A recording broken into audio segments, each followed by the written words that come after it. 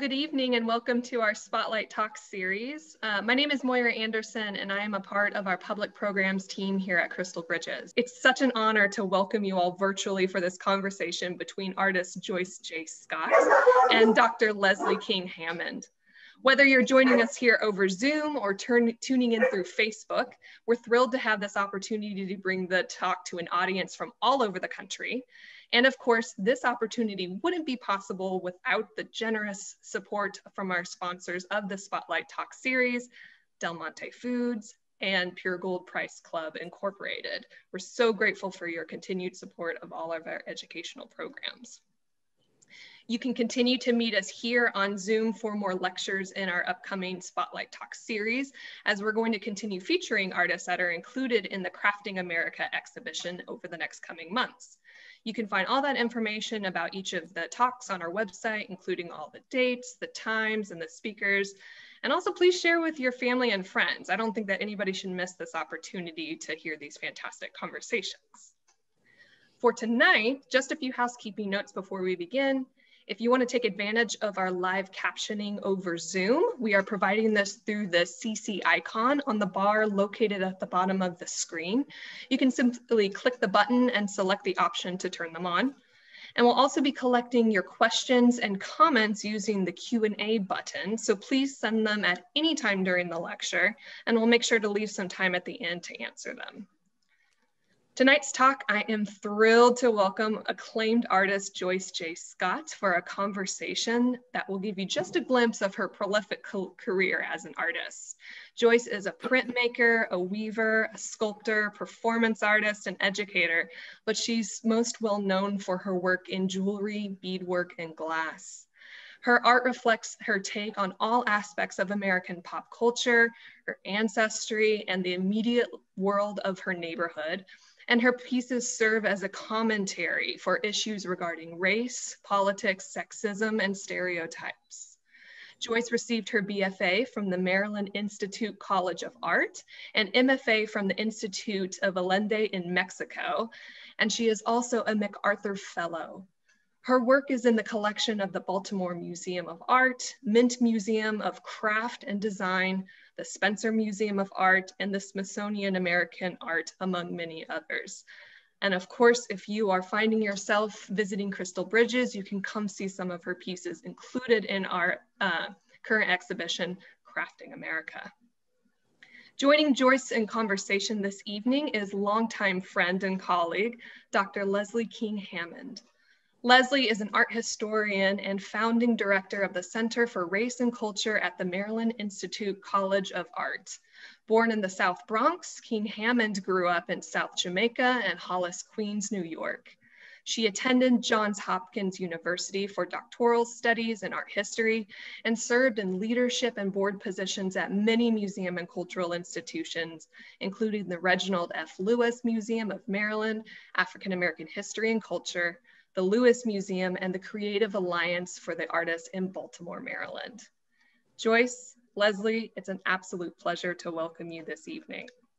Thank you. Thank you.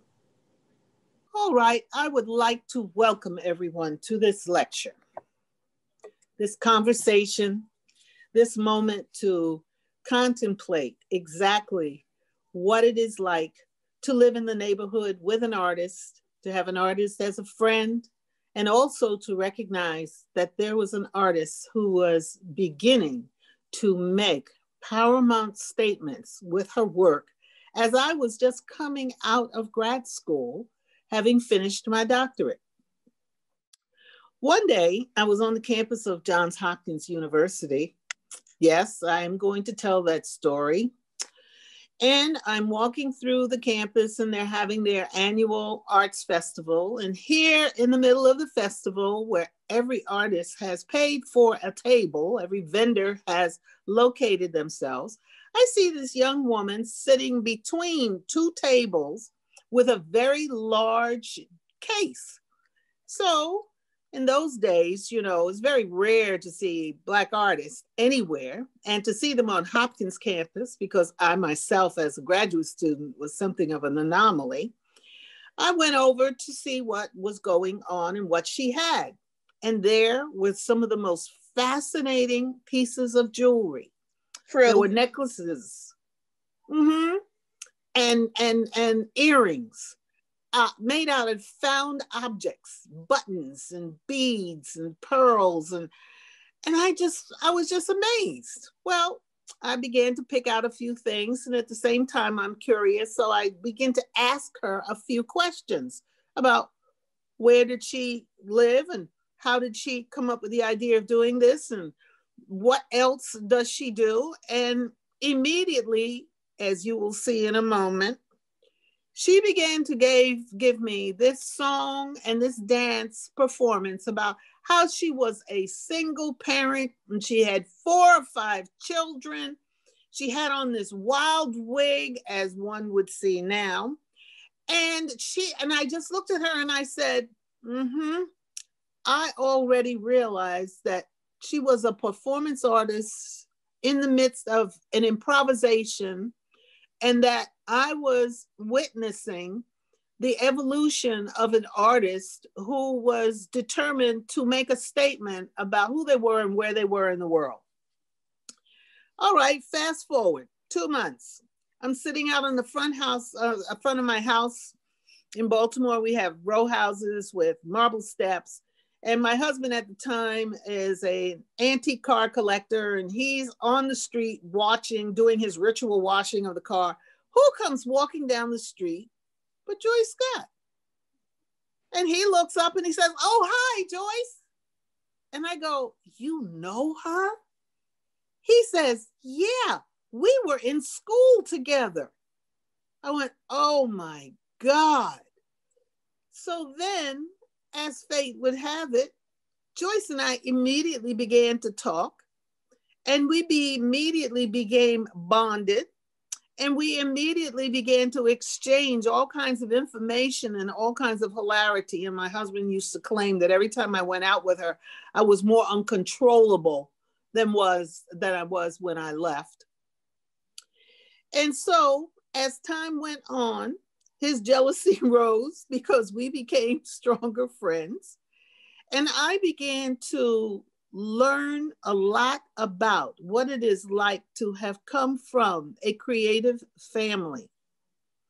And also begin to question how the currency and politics of the time began to impact on us all so greatly but how Joyce began to use that, to mine it, to harvest it, and turn it into this fantastical, magnificent body of work. So, with this, Joyce, it's your turn.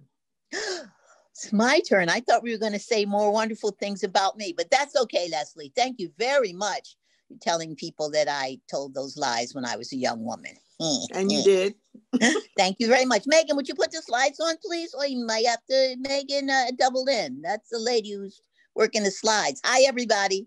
I'm so happy to be here today with my partner in crime, Leslie, Dr. Leslie King Hammond. We can go past the unplug, please, Megan. We'll go, ah, there you go. I'd also like to say hi to all my friends, my gallery folks, Amy Race, who, or Rache, who is the gallerist at my Baltimore gallery, Goya Contemporary, and Martha Macks-Kahn, the owner. Okay, this is a picture of me and my mom, me and my dad when we were young and innocent. You know how long ago that was. Next. The next, you're going to see pictures of my father's mother and father Charlie Scott Sr. and Mamie Scott. Now, the thing about them is that they were in North Carolina. They picked tobacco, and it was a, a hard life for them.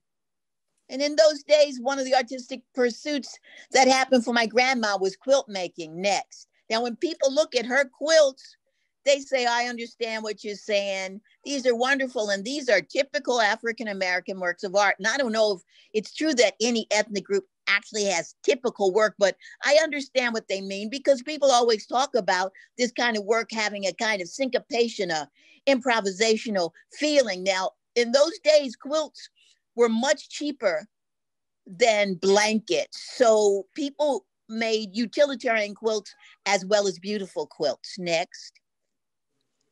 This is my mother's father, Samuel Caldwell, and he had as many jobs as he had children. He had 14 children.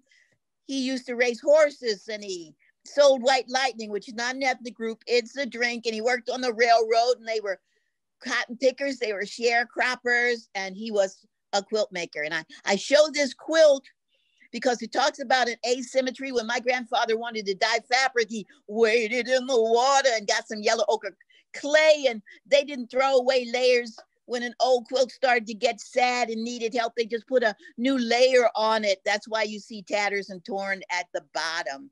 Next. And this is his wife, Mary Jane Caldwell, the person who had all of those kids. So she wasn't picking a lot of cotton. She made a lot of utilitarian quilts like this, made out of big pieces of fabric. Sometimes they went to the mills that got the cotton that they picked and bought fabric from them. A lot of times, so they did these kind of story quilts. I called them diaries for pre-literate people because many times they didn't read or write and they couldn't put that many names in the Bible. So they take a piece of fabric like from Uncle Benny, his pants, and they'd say, These are Uncle Benny's quilts. You don't know this? That's not dirt. That's Uncle Benny's knee print. And when he was bending down trying to make his victory garden, because we were always trying to get sweet tomatoes and he never had sweet tomatoes. You don't know him, his daughter's a slut. Now, Uncle Benny, and they keep talking and tell you the history of your family when they couldn't write it in a book. Now, my mother dragged this quilt from South Carolina, and as it happens, your parents blame you for everything. My mom said I tore it up. And when she said, You ought to fix that quilt, she really told me to write on it. She said, Write on it. Back to a diary, meaning stitch it. And if you love it, you ought to put a new page to the book. So that's that folded fabric, a new quilt layer. This goes right to the idea of these quilts being diaries and stories written about your past and your future next. Then we get to my mom, Elizabeth Caldwell Talford Scott, that light that perpetually shine, shines whether she's under the ground or in the sky. That's the 50 year quilt. She taught me how to quilt on it, and I took her 50 years to do it from fabric she brought with her from the South in the Great Migration, all the way to her finishing it in like the 60s. Next. My mom was a rebel. She didn't believe that she should have to follow the rules, right? So when she wanted to make something like the prayer cloth on the left, on the on I guess our right, she would take buttons and beads and rocks and stones and make knots and big stitches, little stitches, you name it, because she felt that this had some kind of consistent and ever, ever, everlasting power. So you put it on your tummy or lean against it, and it would help you feel better. The other is the quilt that's owned by the Delaware Museum. Boy, am I talking fast, and it's because we only have 90 minutes, and Leslie cussed me out before this time and told me not to waste anything. it's called Grandfather's Cabin, and at the bottom there are these squiggly lines you can see they were snakes. Mom said every year this snake who lived under the house would come and knock on the door, knock, knock, knock. And her father would pull out the shotgun, kick the door open, boom, and there'd be nothing left but the snake skin at the bottom. So this is whole story quilting of stars in the sky in the grandfather's cabin. And that's how I learned about my family stories next. Now, when my mom stopped working so much, and when she met my gaggle of friends, Leslie King Hammond included, we started seeing how precious this work was. This is long before the Gee's Bend, quilts, and, and all the other wonderful quilters who are working today got some prominence. So Leslie, Lowery Sims, Patterson Sims, other curators, George Ciscle, were important in helping us see that my mother had the real possibility of showing her work to others. Mm-hmm. You can see there's a lot of stitching and cutting together stories just like the way we would tell stories because we we tell stories like this. You know when you came home you were seven but you weren't only seven years old. You had that blue dress. You still have the blue dress? Well i was drinking uh, wine that i made out of strawberries. You don't like strawberries do you all of those desperate kinds of feelings and stories and rhythms are put together in her work. Next. And then we're talking about a quilt that's made out of ties. Folks would like do homage to my mother and bring her articles to put in her work. And someone brought her bags of ties once and she made this marvelous wall hanging. Next. And what did what did that mean to me? Well, people say, when did you become an artist? And I say in utero. I came out of the my mom's womb and I looked at the doctor and said, Move, you're in my life. But boom, boom. I was smoking to get okay. I, old jokes. This is a young audience, probably. I was sure I was going to be a painter, but when I went to the Maryland Institute College of Art, I was disabused of that and told to stop painting for the betterment of myself and the entire human race. That was actually so. So, what I did was take the passport my mother had given me. I always thought I was going to be a teacher. When I got into education studies, you had to do everything. And I was right back doing many of the things that my mother and her ancestors had taught her, teaching me. The true passport was needle and thread, and I traveled the world using needle and thread as my passport, my, my special introductory song to people, learning from them and showing them what my prowess was. Next.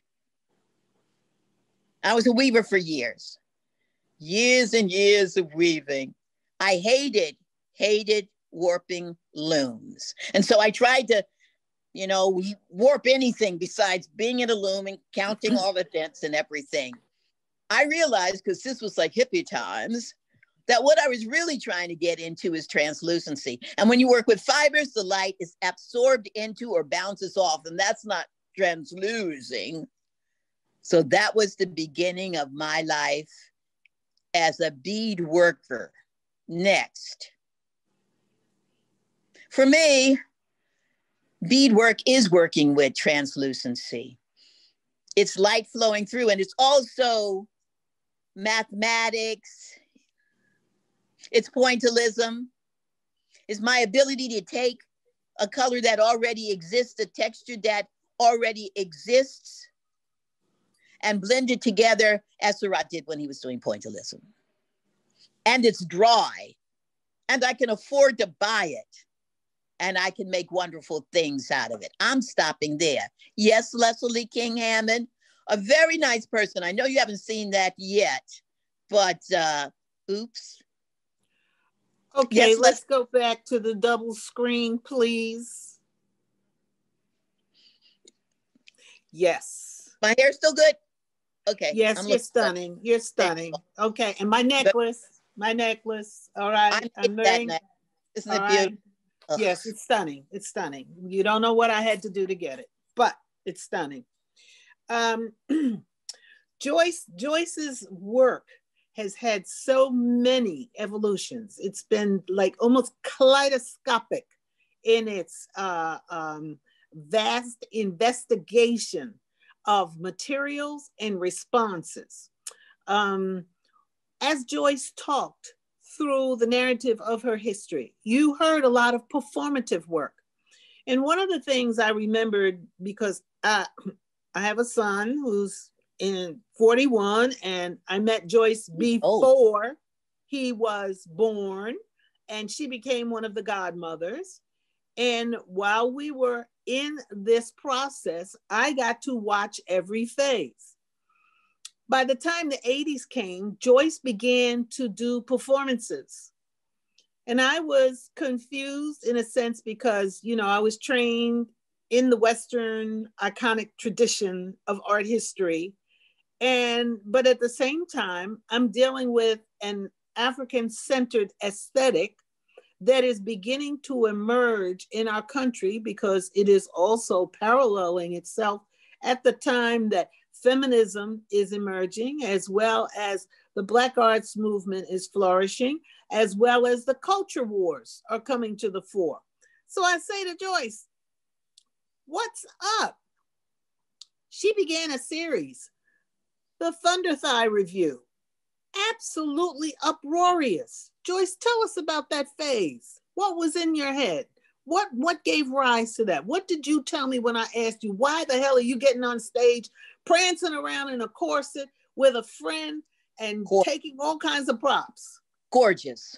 Well, Leslie, you know, I've kind of always been a performer. And when Whoopi Goldberg and Kathy mm-hmm. and Mo and all these folks mm-hmm. got on stage and said, you could be you and talk about yourself, and someone will listen. Now, I- I've been raised with Jack Benny and Mort Sahl and all these other monologists, Jewish comics on. That's why I'm wearing my wonderful Jewish woman now eyeglasses right now, everybody. I've been raised with that, and and then you know, uh, Pigmeat Markham and all of these other folks. Mom's also what I was raised with as a child. I mean, mm-hmm. if you were sitting at a table anywhere, kitchen table somewhere with a bunch of older African American men and women, then you were having shtick all the time. And well, why did he come in? Hey, yo, bow-legged, peanut-looking head with little Negro ears, and that's the wrong hat. And we're like, oh, you said that, and he comes, oh, what's wrong with you? Uh, it, it was always that kind of comedic sleight of hand and terpsichore that I loved and realized that it was a true way of communicating to people. It was the trickster.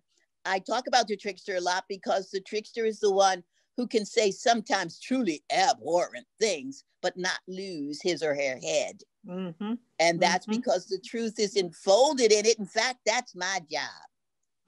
Working with Kay Lawal as the two Thunder Thighs. and I want you to know some that was in the 80s. And sometimes some old guy will drive by in a car in Baltimore and yell at me, eight thighs. I'm like, my God. And then I realize how, you know, laudatory that is, and I feel great. Anyway, this was a period when everybody was doing performance. This was the 60s, 70s, where you were experimenting with just about anything you could do. So you would do an installation, and that couldn't be it. There had to be somebody singing in it, or drawing, or dancing in it. Uh, there were promenades. It, it was really a way to effect a total experience and that had always been it within the African community, certainly church in a Pentecostal church where I was raised, that's what it was about. Mm-hmm. Uh, I tell people, and this is true, that I used to do street ministry with my godparents who were the ministers of our church. And of course, I got them all a lot more money because I was so good looking. I played the tambourine, I sang. Anyway, it was also, I think, when I look back, because I'm 72 now, I know black don't crack, but I'll stop. I realized that it was a way for me to work out my zest, my demons, my angels in a way that the visual arts could not afford me.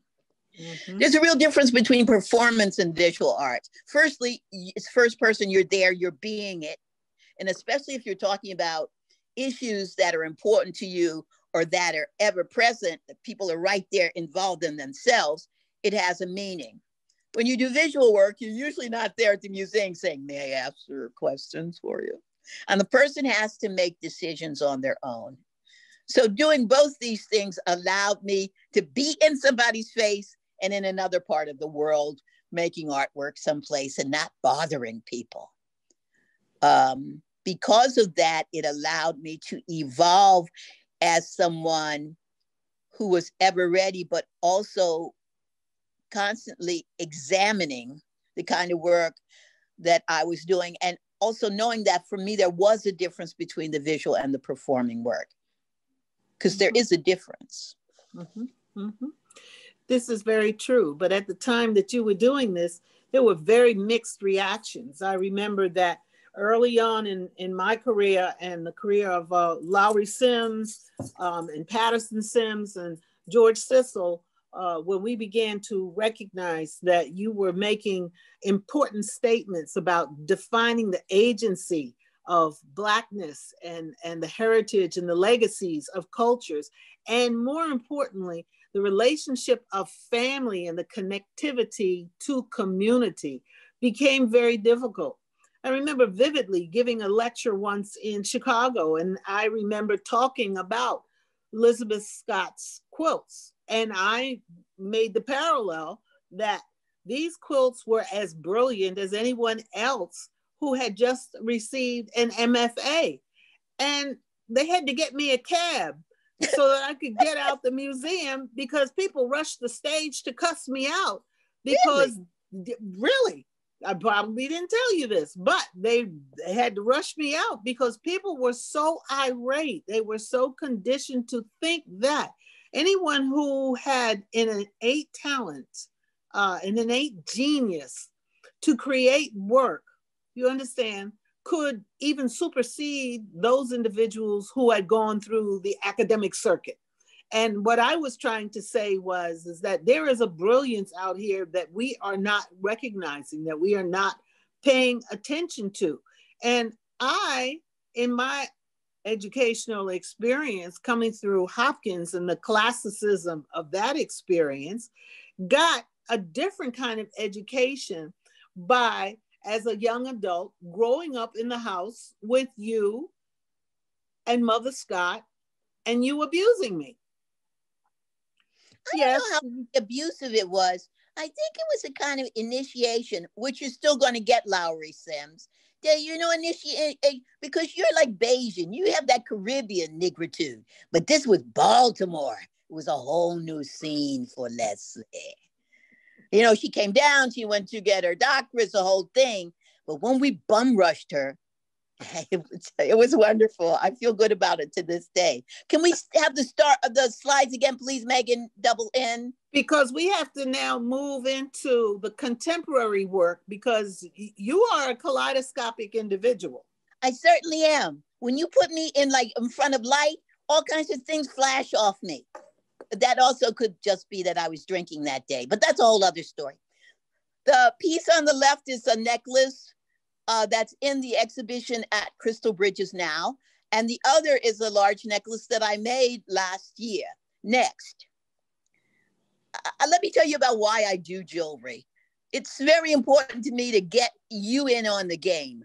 I like the idea that a person who wears the work has now submitted to wearing something that's going to cause interaction, whether they want it or not. And so sometimes my necklaces are about lynching and rape and slayings, and they have sometimes uh, curse words or words that are insulting in them. And I'm always surprised that people actually wear them and are inviting that kind of uh, contretemps, that kind of uh, interaction with people. I want to tell you about the one on the left side, the one with all the stripes and lines. I sent that to Michelle Obama. And I hadn't heard from them in a year. And I thought someone in the kitchen is cooking with that necklace. Michelle Obama has not received that necklace. Michelle is all of that. And I know if she had it, she would have talked to me personally on the phone by now. You know, you lied to yourself. Well, not long after I called my friend and said, Can you check? I got a form letter from her. And it was very nice. I think I still have it somewhere. I'm sure I must. And in it, she said something about connecting, which I knew that Michelle Obama did not want to meet me, but I thought she was just trying to get a, you know, a pair of matching earrings with this necklace, Michelle Obama. I, I know you. Next. These are really new necklaces uh, made in 2020. They're really large fairy tale pictorial necklaces. And I defy people to tell me that I wouldn't use the same impulse, the same maneuvers and gut feelings that I use to make these pieces that I do when I'm painting, no matter how bad my paintings are. These are very large pectorals neck pieces. They're meant to make you not walk by the person, not see them on the other side of the room. They're meant for you to walk flat footed right up to that person and become involved in these stories. I don't know why else I'm on this earth. I mean, I know uh, people have all kinds of ideas about who they are and what they do. I knew that I wanted to be an artist that made a difference. And I was blessed enough to find a medium and my métier, my my form in beadwork. It was not only something that I could use to make the work, but it was something that I could help to evolve as a technique and also help to be seen as a valid, valid form because, you know, people still think of beadwork as like that kind of handicraft thing that people do, although it has been revered since the beginning of time. I mean, when you open up a grave, you always see beads around someone's neck. So it became, once again, my passport. My first bead teacher was my mom, who taught me when I was around five. Next, I like to make money off what I sell and I like to collaborate sometimes. So these are earrings that I made with Shana Croix and Lauren Schott because I'm not a metal worker. Next. Sometimes my series talk about, and this is an old from an old series, talk about uh, hard subjects. So this is from the sexual objectification series. This is about a woman who wants something, but society says she can't have it, so she's hiding it under her skirts. Next. My mother had many jobs, and one was as a nanny. She told me the most uh, difficult thing for her was to be called by a small child, a, a kid who's much too young to go to the club or to be out running and jogging, to be called the N word. And so I have made a whole series about the relationship between nannies and their children and the children they raise. And somehow, sometimes they become the same people. Next. I like to talk about what's existing in the world, not just the horrors that white people do to Black people or people of color, but also the things that we do to ourselves. So this is from the Darfur series where the day after rape really series. And this is the Darfur section where women would leave the immigrant camps to look for water and be slain and placed in odd positions so people could see them or left with their children. Next. Okay, now we're getting into the super contemporary work. I was working with like tiny beads and I thought, now, I've got these stories and fairy tales to talk about. Excuse me, they're coming right out of me. What am I going to do? I'm going to use these small precious beads to make grandiose statements. This is a, a piece about Harriet Tubman and the walk she made. She's from Maryland. I'm from Maryland. Made me and my relationship with my mother made me really think about how my mother was like Harriet Tubman. Next. It's another wall hanging.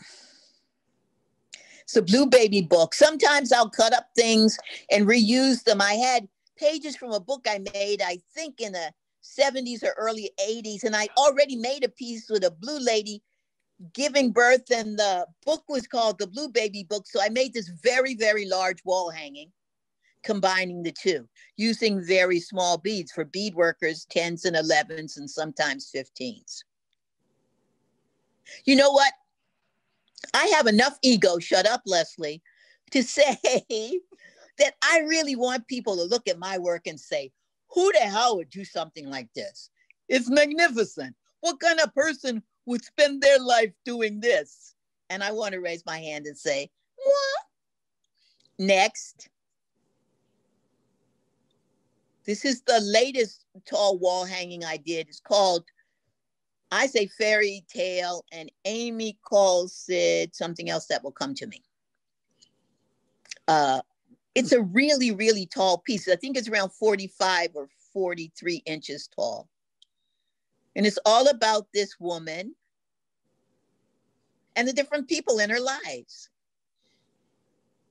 Next, I'm moving fast glass. I can say that there, there is a growing population of African American glass artists who work with blown glass. There's always been African American representation in the glass arts. Many times it was not only glass blowers, but it was uh, artists who didn't have to have such all of these giant materials, you know, like a furnace and everything. So they would do glass by stained glass work or by assembling glass with glues and other things. My gallery said to me in 2016, I believe, to my mom passed, and I think after I had my knee operation, and what do you want to do with your life? And I said, I want to be in a Venice Biennale. And they said, okay. So I had two residencies at the Berengo Glass Studio in Italy. And I was on two satellite exhibitions in the Venice Biennale. I'd worked with many American glass blowers around the country you can imagine what a shock it was for them when I walked in wearing a lot of velvet, a giant red wig, and singing. I thought Italians love opera. I got to give them some of this. Well, by the second residency, they figured out that I was just the right amount of mentally ill and that I'm an uncertified multiple personality, and that's just fine. And we worked with glass together. This is a series, the Buddha series. I'd used Buddhas for a long time because I like that there's a guy, an average guy, who decided to change his life so that he could be enlightened. Next. I also use African sculpture sometimes because I don't know why I should reinvent a wheel. This is a war woman piece. She's wearing a a glass heart, a glass blown heart that's covered with flames as a backpack. And she's standing on the heads of people and penises and guns and dice uh, cover the base, talking about the luck of the draw in war. Next. And that's a large piece. This headshot is about how guns are so easily procured, procured and used by young men and how their heads are blown off, how their lives are ended. Next. These Harriet Tubman as Buddha. And these are made with large pony beads. When I did an exhibition at Grounds for Sculpture, it was called uh, Harriet Tubman and Other Truths.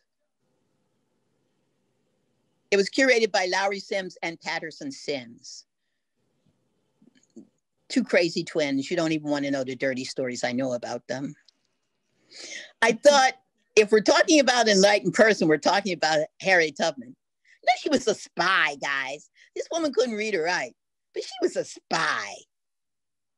She also died impoverished with not a lot of money. So I decided to do her as Buddha. Next. This piece is very large. It's around, I think, 36, 40 inches tall. She's holding a rosary out of stones that was made by my mother. Next.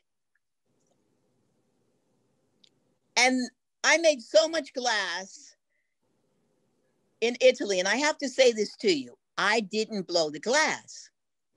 And many times artists don't blow the glass, they just tell people what to do. They make uh, drawings and we work together. And I did beadwork the whole time they were working with me so I know what I might add. I have one of my storage rooms filled with glass because I make so much. So when I came home and they sent the glass home, I cobbled together, glued, and worked. I did work with the McFadden Glass Studio here to really use a great glue. And I made these uh, large dimensional pieces. That one's probably around 30 and 28, 30 inches tall. Next, I think it's the next view, the back of this. You can see me being my mom right here, my mom's baby. You can't tell me what to do. I put on that what I want to put on it. I, I make it the way I want to make it. Uh, if you don't like it, well, that's too bad. Next. Same thing. I thought, I bet I haven't seen this done this way. So I'm gonna put African sculpture on top of a glass sculpture and then add some more beadwork to it. Next. Things are double-sided. I've also fused glass and fused beadwork in it and painted and you can't tell me what to do.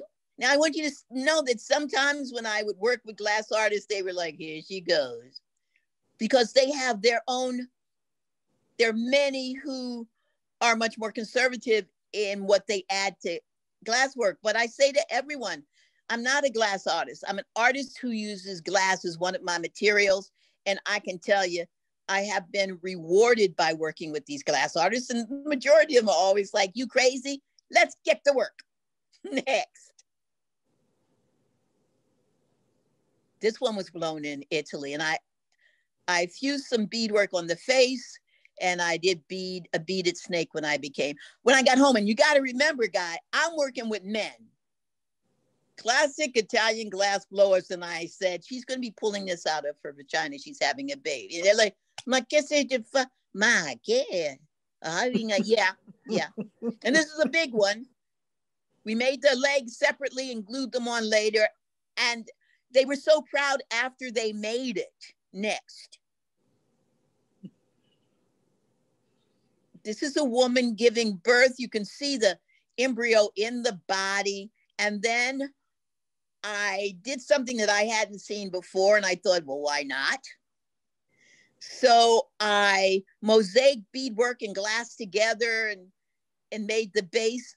Uh, I bought a flower pot out of metal. It was too weak. I went to Paul Daniel, Linda Palmer's husband, and said, Can you help me? He did. He made it stronger, and then I could put all kinds of work on it. I had a close friend named Thomas Miller, who is a wonderful artist here in Baltimore. And we used to make jokes about Negro carpentry. carpentry. We weren't trained carpenters, but I, I learned about wood in school, and so did he. So we just talk about how we would jerry rig things to make it work. And I did. Next. I also have a floor mosaic at the, um, I guess it's the Ronald Reagan Airport. Mm-hmm. I tell people to go see it because this will be one of the few times you'll ever be able to walk on me. Next.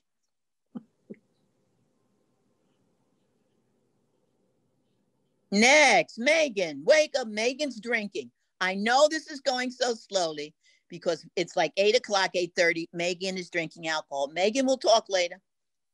So when I talked to you about the Grounds for Sculpture show, they stupidly asked me, so Joyce, what do you want to do? And I said, really? And they said, yeah, I want to make a 15 foot sculpture of Harriet Tubman out of dirt and I want it to disappear in time.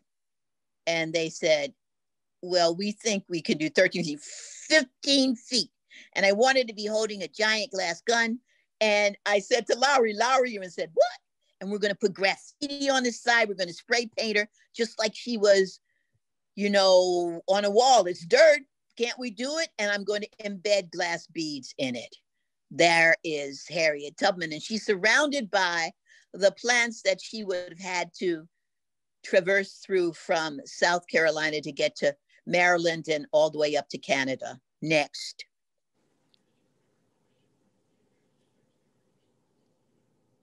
Next.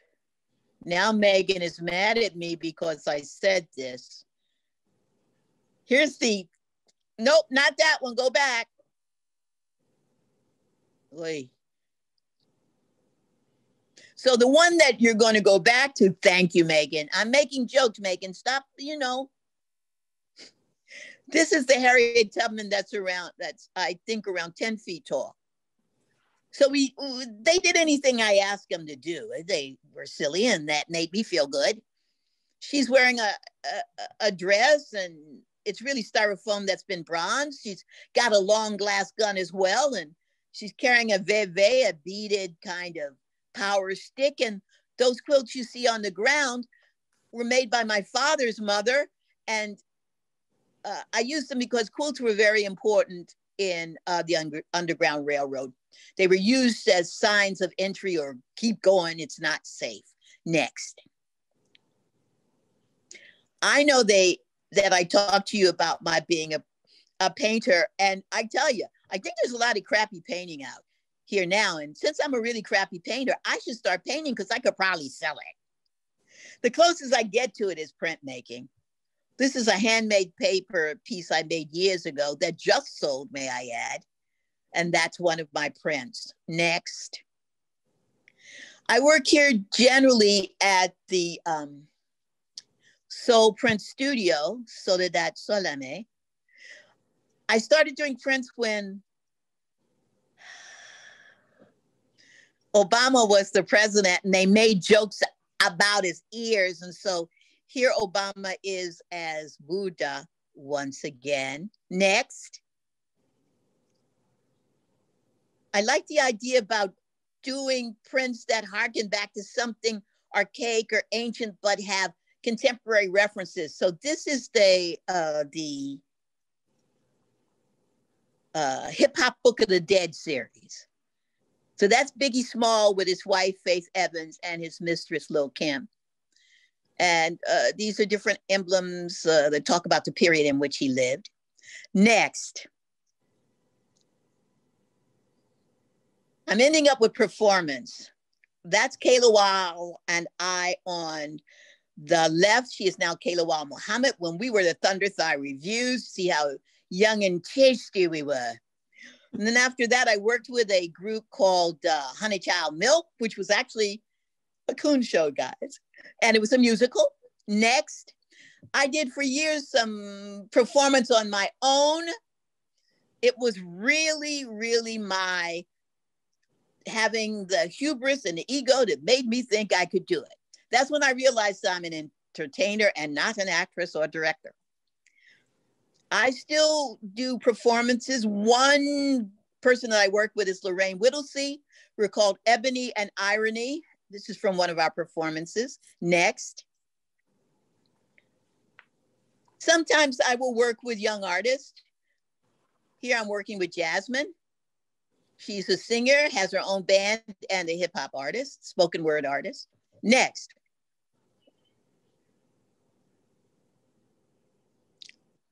I don't know how this happened, but I am working with a Tuvan group. This is a Russian group of, of Tuvan performers who are indigenous to their own culture and they do their own music and body. The guy with the white letters on his t-shirt decided that he wanted to make a his own one person contemporary album. So I, with these other performers, are working on the on his album.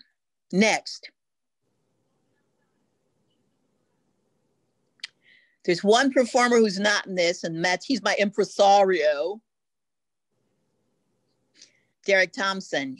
He plays for me consistently, a wonderful pianist and a wonderful musician. And I'm going to end with this.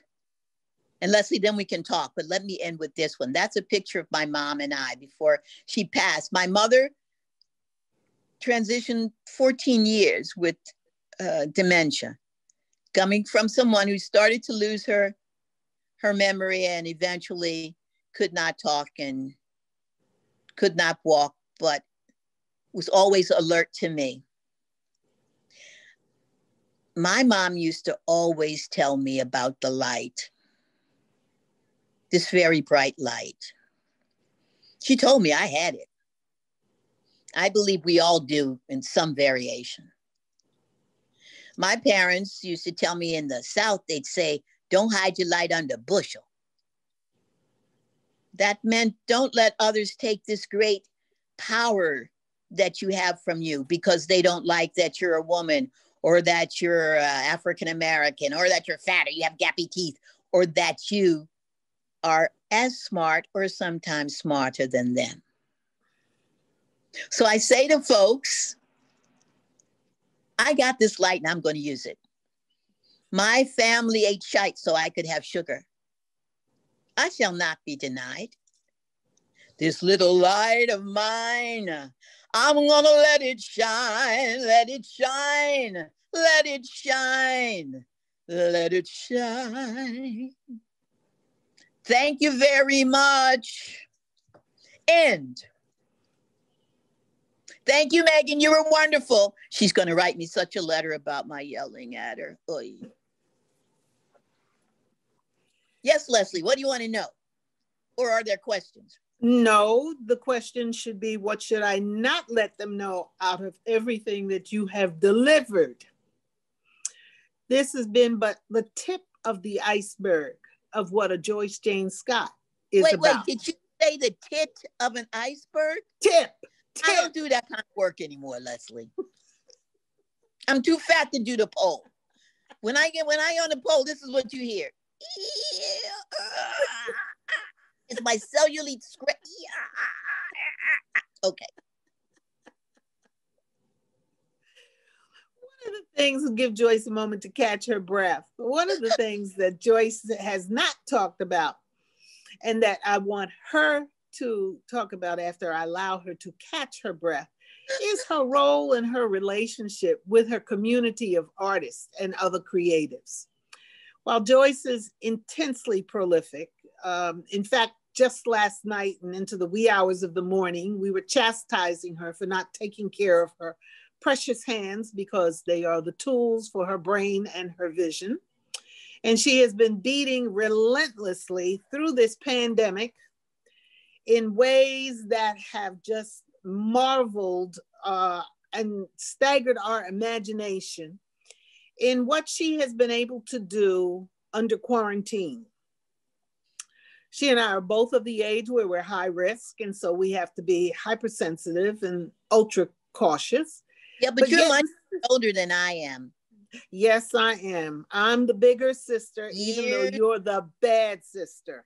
So many years. See? See? So with that, Joyce is is is one of those individuals, remarkable, and I think this in part goes to why she was the recipient of the MacArthur Award. And that is that while Joyce is totally committed, if not obsessed, about her own work and messaging and telling the narratives and stories of all the histories that engage and incite her she is constantly engaged with the question of what all the other artists in her community are doing. She is prodding, poking, encouraging, nurturing, nursing, nagging, getting on your damn living nerves because, That's... see, see, because she expects that you, whomever you are, are to rise to the level of your excellence. And she will not stop until you do that, until you get that connection within yourself. And this is a remarkable thing. I've known her forever, all right? Forever and ever and ever. It's almost as if it was destined, kismet, that we were to meet. But our views and our commitments are very parallel. So I want Joyce to talk about some of the ways and some of the things that she does. Like at the time that we had the horrendous incident with Freddie Gray in the city of Baltimore, and people were just absolutely, totally in a state of madness, craziness, grief, trauma, you name it. And this was long before the Black Lives Matters movement. This is long before all of the movements that we are having to deal with now. Joyce, tell them what you did in your community. Well, I will. Let me give a little before that the idea of what you're talking about. Yeah, yeah. I really realized, and uh, it was something that I was always taught through my family, that you're not alone in this, and there's absolutely no way for you to proceed unless you're with others and unless they're with you going through whatever door you open and you go through the doors they open for you. It just, especially for people of color and women, it just, it's very, very harder. And so, like, you're, people are asking you to break through the glass and you're, yeah, but who's supposed to clean that up? Not me, right? So, I literally lived around the corner from the CVS that was set alight during uh, the different uprisings uh, during after the death of Freddie Gray. And I, I want you to know that Freddie Gray, Freddie Gray died in the neighborhood that I was raised in, in the, right across the street from the projects where I used to live. I lived across the street from the projects. So I looked out my window one day and I saw the preachers in a circle praying for the area. Uh, the fire department used the the fire hose uh, on my street. I mean, it was that close, and I thought, if I'm upset, what are the young kids in this neighborhood, in my block, feeling? So I went around to the houses and said, I'm going to do a jewelry class, fun class on Saturday. You don't have to do anything but come. I'll supply everything. And they were like, yeah. And the kids were like, yeah. And of course, Friday I went around, everybody was asleep. So I did have someone come, but I didn't do this alone. Uh, Leslie King Hammond was there. Gracie Johnson was there, and Gracie is a jeweler who owns her own jewelry shop and who was in the service and a psychologist. Was there one other person there, Leslie? One other adult? No, it was it was the three of us. The three of us. We got very few people, but they came and we just kept making jewelry. Yeah. And these young girls would ask questions. In fact, one of them was a mentee of mine for a while. She took materials and she made jewelry and she sold it in school and it was good. There was one of the young girls who made a joke about, I don't know, I think maybe I'll go in service, maybe I'll go on the block. And like it's all women like, oh no, you didn't. And Gracie, who had been in the service, stepped mm-hmm. right up and talked about what a difference it made for her, especially with discipline, and it allowed her to go to school mm-hmm. and who she was today. And then later on, a little girl came in and we did a little bit with her and gave her material. All I can say was, I was so very happy that that happened. And it didn't happen at my house. I asked Carter, the, the mayor of Woodbrook Avenue, the street on which I live, if he would lend me a room in one of his houses, because he has a lot of houses. And he did. And he put a table and he added lighting just for us so that we could work within that community setting. That made a, a real difference. I, I received a, um, a residency at the Motor House, which is a art center and a performance space, you name it, in Baltimore. I was the first artist in residence. You had a three-year residency at the time, and they gave me a stipend. I was so happy. Unfortunately, I didn't get to exploit it as much as I'd like to because right after I got it, I got the MacArthur, which meant I was doing a lot more traveling. Anyway, we used my studio not only for me to work, but a graduate student came and she finished her work and she was doing an outside piece. So people came in, Olitha Devane, you name it. We came in and helped her do that. And then I would put together a group of jewelers and we'd come in and we'd make stuff and we talk about stuff because I had the space. And with my stipend, my stipend, I'd buy supplies so people could do things as well as them bringing in stuff. Mm-hmm. Uh, Jeff and his wife Aisha next door were photographers. We'd go in there and take pictures, you name it. We used the space. Leslie set up uh, jewelry sales and Christmas sales. And all I can say was that outreaching with my community and going back to my alma mater, MICA, and doing things if people needed it. Uh, Clyde would say, Joyce, they're having a fashion show, and these kids, they don't exactly know how to put together. So I'd come and I'd work with them. And one of the students, Amir, I, I did like this bing, bing, bing, that's work. You won't even believe what happened. We still are in contact, and we were asked to, I was asked to come to talk about racism at a church downtown. And I said, I would like to bring him with me, and you have to pay him. And we talked about intergenerational, the intergenerational strife that happens. Uh, I sing a lot, and I I volunteer some, not as much as many others do. But folks know they can call on me, and and and I like to be able to give. And the MacArthur allowed me. It's over, folks, so don't ask for anything to help me with folks in school or would help with a scholarship or something. Oh, and also a group of us called Santa Mamas get together once a year. This between eight or 15 women depending upon yep. what's happening, who's in town. And we provide Christmas to between two and four families every year. And to see a little kid get a bicycle and to see their parents, because many times there's a husband and a wife lost their job and can't afford presents for their children.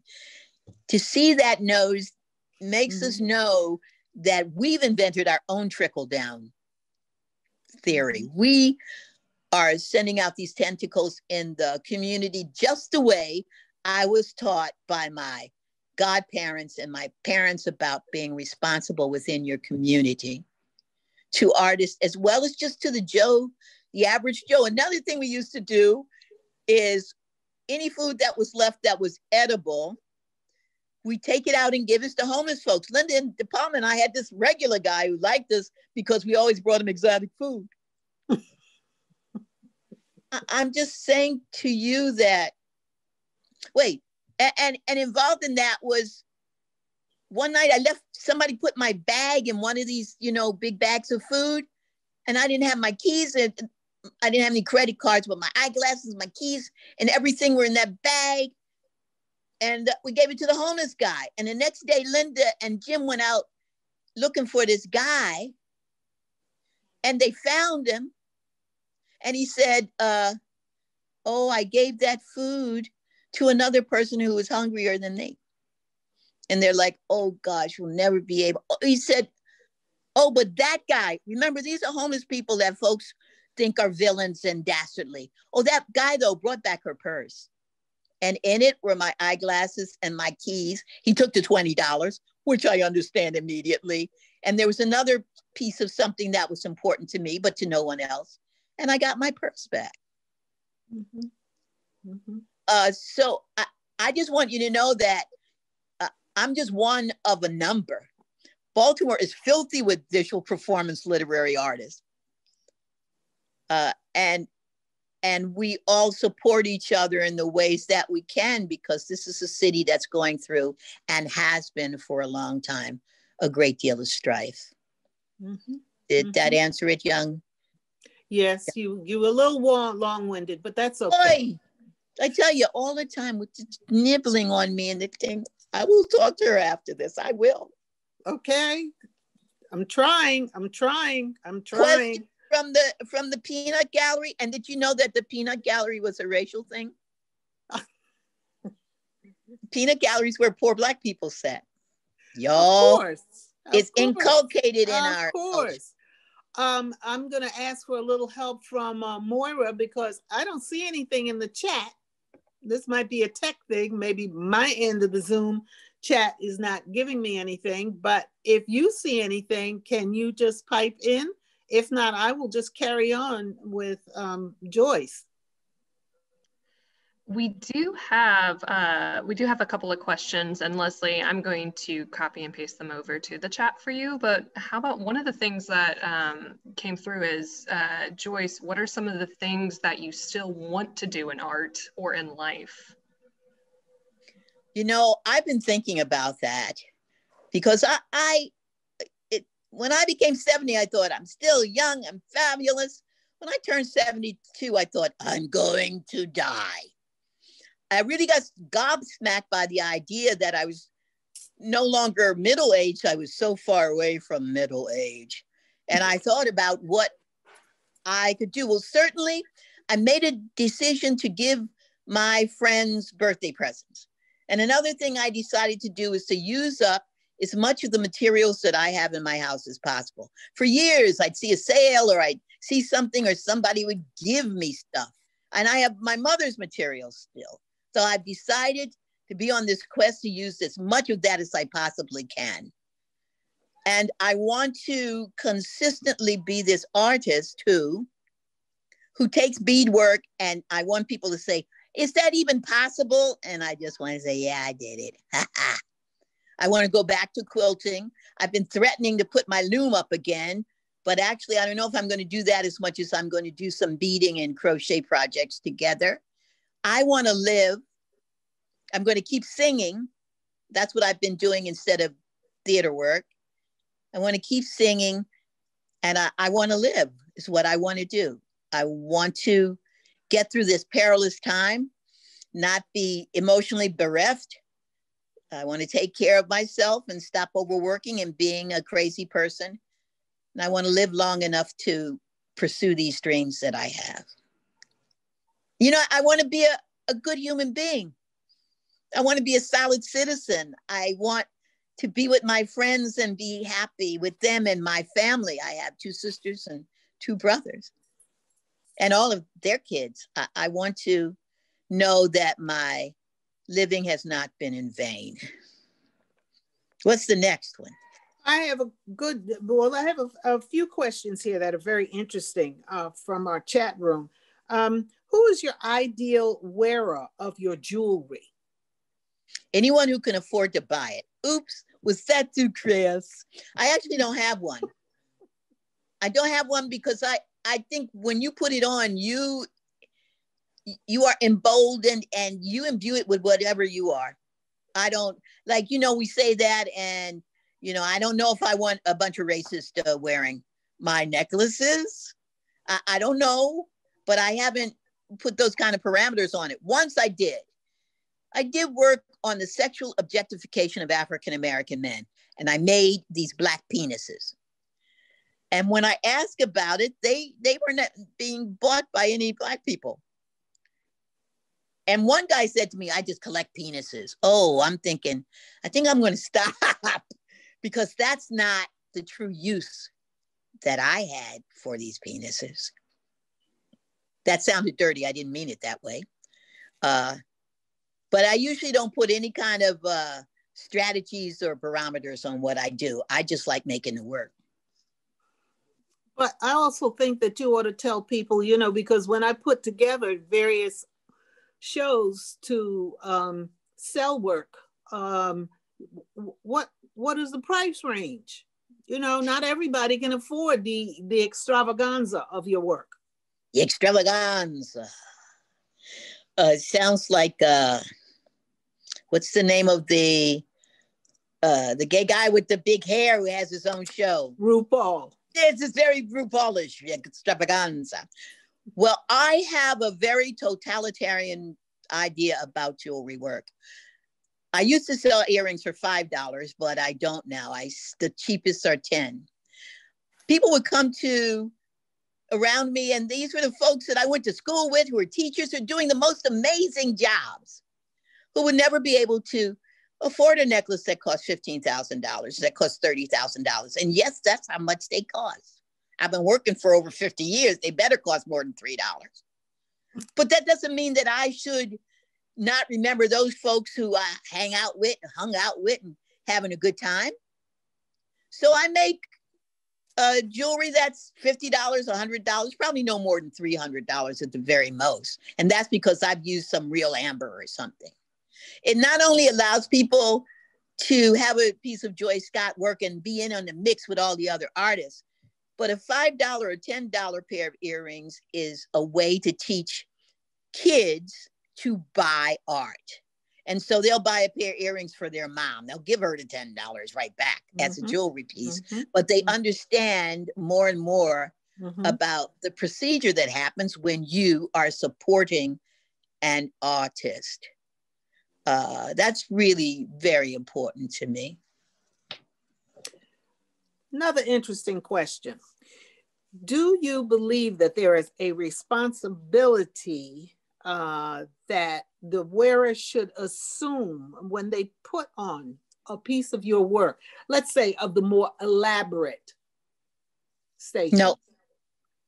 No, because I, I don't feel that way because it will come to them they may not feel they have the responsibility. If you put on something that's so amazingly gorgeous, you're going to be in a mix. People will, and this is not just my work, this is anybody's work. People are going to come up and say, That's beautiful. What's it made out of? Oh, is that the N word? What's going on? Mm-hmm. Uh, I, I usually don't put those kind of parameters on people because I have no way of making sure they're going to do it. What do I know? They bought it, it's now theirs. And I just hope they don't tear it up. Now, someone asked the question about Buddha and Harriet Tubman and how you made that transference. How did you do that projection? I think, and I hope the Buddhists understand that I mean this with great respect, that he is a universalist and that his thing was for all people to be enlightened if they would follow a certain basic rules. And I thought that there was really no one who had submitted to this urge for freedom, not only for herself, but for others, and who enlightenment had come more than Harriet Tubman. Uh, she didn't have to do that. You know, when she ran away, she could have stayed away, but she kept going back. And what some people don't know is that she had a head injury as a kid. So she had uh, seizures or, or problems, headaches, the whole thing. Did that stop her? No. She said to the government, I'll be a spy. I'll, she, she was like a spy. Come on, folks. I don't know how more enlightened can you get? And so that's why. Now that's that thing. Now the artist in me is also like, what can I do to not only bring power to this figure, but make people to, uh, really starving hungry to know what's happening and to make ideas in their own head and figure out mm-hmm. how can I, uh, you know, lambast somebody? How do I get somebody in there? And that is to take different desperate, uh, disparate sometimes uneven kinds of ideas and smush them together and see what happens. And I've had work where I've done it and it's failed. And when the exhibition was over, I take that back and cut it up and make something else out of it. Yes. What is the lifeline of some of your work? Uh, going to that point about cutting it up, how do you feel when you have had a piece that you've made for a while and it has not either sold or you look at it and you feel it's not resonating with the same kind of messaging? You have no qualms about cutting it up, breaking it down, re- it reforming what, it? Yeah. Well, sometimes you can't do it easily. Yeah. And so it's generally an additive thing instead of a cut up thing. Okay. But with beadwork, it, it's very easy to do that in many cases. And I had to realize that sometimes I would be questioning and forcing uh, something to be what it wasn't. There's this M&M commercial about uh, I think it's M&M brownies or something. And M&M is like, why won't you go away? Okay, I knew exactly who that M&M was at that time. And it was because I was asking that piece to be what it was not. I really should have been writing a story or making up a song or doing something else. So because of that, I work on more than one piece at once. And I may look at something and say, this whole section is wrong. And I try to take it out or or add something that connects it better or do something else. And no, I don't have a lot of problems generally with cutting up beads and some fiber work because I am that good. Now, I know how that sounds. See, I even got the finger. I am that good. But I'm 72 and I started doing beadwork when I was five. If I don't know how to do it now, come on. So I haven't lost that that part of me that says, yeah, I can do it. I'll make it work. I am that good. Mm-hmm, mm-hmm, mm-hmm. And why else am I on the earth to be? Am I supposed to be a medi- a mediocre bead worker? I am supposed to be striving to be the best one. That's my my parents didn't work at these jobs and be horribly treated by people and well treated by others my grandparents didn't like grab 500 pound bags of cotton to be weighed when I can't even pick up a designer bag. Come on. I come from a background, a history, as we all do. I'm talking about my own personal experience, where I cannot settle for that because people died for me to be here now. And when you put that in the mix, that people died for you, then I, I won't settle for mediocre. Now, people laugh at my prints sometimes I'm painting and think, you need to work more. Okay, I'm going to get better at that too. Okay, we're coming to the end of our time together with this audience. Already? Not yet. I'm not quite finished with you yet. Have shadow puppets? And no puppets, no puppets, no puppets. We're going to fast forward. We're going to fast forward. Where do you see the artwork that is being produced now? Uh oh. There's a rise in elements of what is called Afrofuturism, which really goes back to the 50s with Sun Ra, or Afro Afrofuturism with a, a more African emphasis. Uh, narrative and figurative work is becoming very, very um, more pronounced in terms of how it is telling the stories and I and dealing with agency and identity. So what what what do you project? What do you see coming in the future? Pure you know, speculation. I'm a bit flummoxed. I remember talking to our girls group, the Girls of Baltimore, and I think we were talking, and and Lowery Sims, because I said, I don't know, is this like the 70s when you know black people were popular and then Native Americans were popular. We all had on our, you know, fringe and beadwork and then Polish embroideries. I mean, and she said, I believe this is not like that. This is a correction. Now, if we're in a time of correction for African American artists and other all artists, but let's specifically talk about my ethnic group because that's what I know I believe the most mm-hmm. about.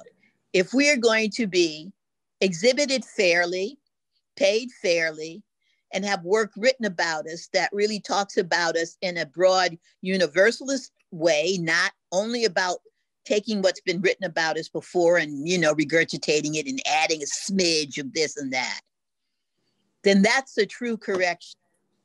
If museums and galleries are going to sell the work and museums are going to get the work and actually show it then that's a true, a true correction. And if the new curators and directors who are being sought after and employed now get to keep jobs and get to have power within their jobs, then that's a true correction. And I hope that what is what's going to happen.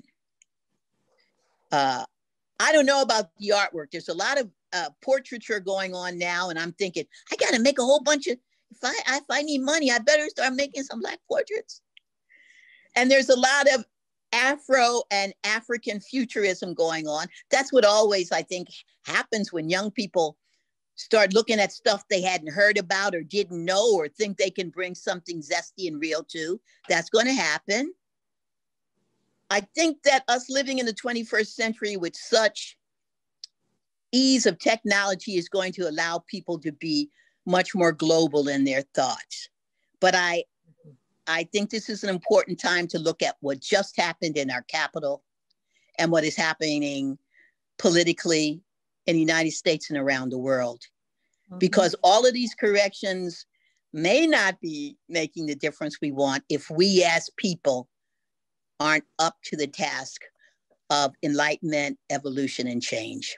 And that's a big thing to ask because introspection is a biatch being able to look at oneself and change it's a big one. And i can tell you i have been blessed with being able to do artwork and the artwork makes me question who i am. So when i say what do i want to do in the future? it's like to be a, a mensch a real human being. Uh, a real human being who goes beyond my weaknesses. If these corrections can help that happen I'm I'm there. I'm still though a little trepidatious, a little not exactly mm-hmm. sure if we as humans are ready for it yet. But it doesn't matter because it's going to happen whether we're ready or not. True. Young True. people are going to say, "Well, I'm I'm going to do it." True. True. Last question from the chat room. someone wanted to know were you ever influenced by the bead craze in the 60s and 70s? Sure, I was one of the uh, progenitors of that. I literally was, and I can say that because there was a, uh, a finite group of people who were learning and teaching it. And then we had lots of students who went off and opened shops, made a lot of earrings and a lot of other stuff. Mm-hmm. And then that group culled down to the folks who were making and who were employing beadwork as a language. That be those people still exist today. There are many fewer of us, also because we're older now. So a couple of us have uh, gone over already. Uh, and beadwork isn't what it used to be. I look at it, and it's a lot of it is back to hobbyism, hobbyist, and you know, handicrafting. That's fine because mm-hmm. sometimes you just want to feel the bead. You don't want to talk about the world mm-hmm. and make it most a giant work. But mm-hmm. there are mm-hmm. scholars now of beadwork, and there are people who started it who are still pushing it. So yes, mm-hmm. girl, in the 60s and 70s, I look good. I have my braids and beads, jewelry and beads, garments and beads, installation with beads, performance with beads. beads. That's it. I probably had bead milkshakes. I did everything. okay, last words as we close this out. What are your recommendations for those young artists and their futures and what you see they should be focusing on? Never stop. Okay, so you don't get to do everything you want to do this very second. Never stop. I had a a kind of uh, you know blessed life because I left school with no loans to pay. And it was that period where you could hop on a plane and go to Africa for $300. You know what I mean? Right. Those are not right. the same anymore. But I never stopped. Never stopped. And when times mm-hmm. get hard and people jump on you because of your ethnicity or your gender, your hairstyle, or whatever else, know that you are equipped to do exactly what you knew need to do to make your work. It won't maybe all happen at once, but don't believe them and don't stop. Mm-hmm. That maybe is why you're here to be that person who kicks ours and works through all of that to make the most mm-hmm. wonderful thing. I mean, when we talk about Amy, Amy who did the painting Sherald. of Amy, Amy Sherald. Sherald. She had a heart transplant. She did not stop. That's right. Look where she is now. We could talk right. about so many artists who who did that. And so I say, don't stop. Have your children. Be happy with them. Maybe you don't make a. I, I'm very prolific. Maybe you don't make 50 pieces a year. Maybe you make three. But boy, are they the three pieces that you should have made. Never mm-hmm. stop. Mm-hmm. Mm-hmm. Ladies and gentlemen, thank you so much. Thank you. Scott, thank you so much. Thank Crystal you, Bridges, it was a pleasure. Thank you Doesn't so Crystal much. Bridges sound like a stripper? We're closing out, Joyce. I'm Say at a stripper night. music. Say good night.